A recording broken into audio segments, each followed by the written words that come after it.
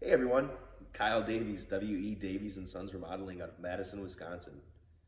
In 1975, my grandfather started a remodeling company, helping folks fix anything they could and just helping them find solutions to fixing their problems. In 2000, my dad and my uncle actually took over the business. I grew up at a young age knowing about the industry, knowing about the trades, and hearing about remodeling stories and projects every day. Um, I decided to take a different route in my 20s, and I worked in the corporate world. I worked in retail, restaurant management, and sales. About three and a half years ago, I decided to make the change to working for a small business and working in the trades as I saw the, the need be for my family's company.